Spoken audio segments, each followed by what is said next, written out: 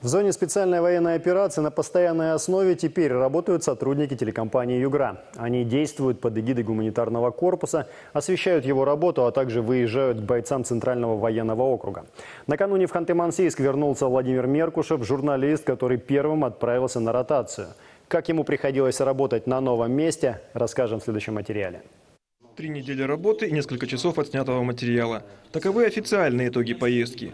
А еще это десятки запечатленных судеб, взятых интервью, бойцов и офицеров, главным образом югорчан, и простых жителей, взрослых и детей, для многих из которых война и обстрелы – обычный фон жизни. Дети с самого рождения ничего другого не видели. А когда война началась, что делал? Я сидел дома. Не в подвале, просто дома был? Ну и когда были прилеты, ну, я в подвале был. До начала спецоперации у Владимира уже был опыт работы на Донбассе с гуманитарной миссией. Во многом поэтому он и отправился туда первым. Тем не менее, к некоторым вещам все равно нужно было адаптироваться. Страшно было э, два раза э, когда э, начинала работать артиллерия, и ты не совсем понимаешь, что происходит. Вот э, возникает такое чувство страха, ты начинаешь разговаривать с со старшим, и ты понимаешь, что на каждое действие противника есть определенный план, и когда ты этот план знаешь, то там страх э, проходит, ты понимаешь, что тебе нужно делать, если будет какая-то критическая ситуация. Иногда к месту съемок приходилось добираться в обстановке, приближенной к боевой, то есть бегом, хотя и без полной выкладки. В этом плане для журналистов постарались организовать максимально, насколько это возможно, комфортные условия.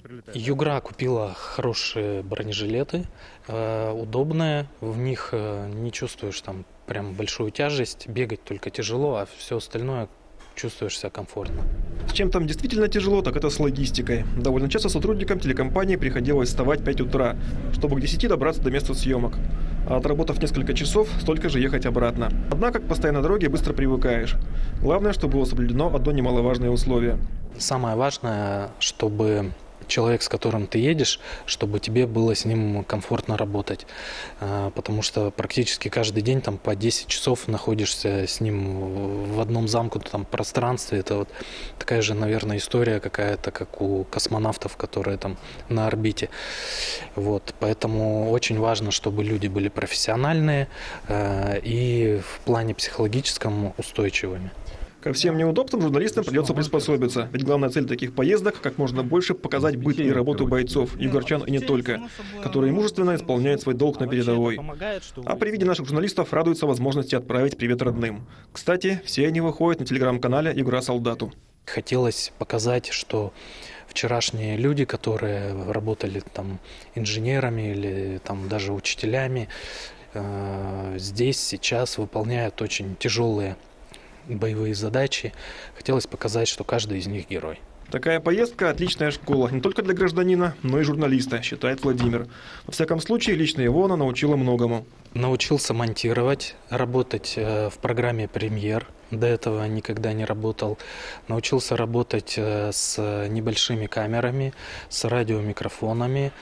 Э, научился ездить на Ниве. Еще не по бездорожью, но уже как бы близко к бездорожью, и стирать в э, машинке полуавтомат. В командировку в зону СВО телекомпании «Югра» поедут только добровольцы, журналисты и телеоператоры. Продлится каждая такая поездка две недели.